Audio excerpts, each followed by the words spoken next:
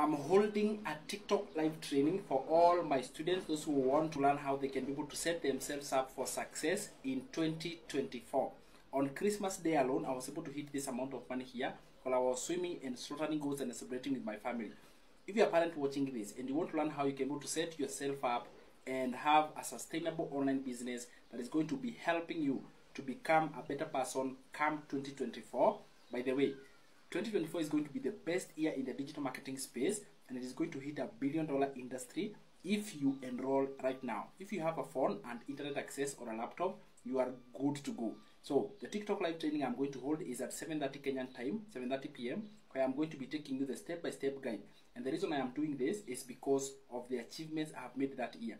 First of all, I'm celebrating one year anniversary. I started my digital marketing space in December 25, 2022 and I just hit one year.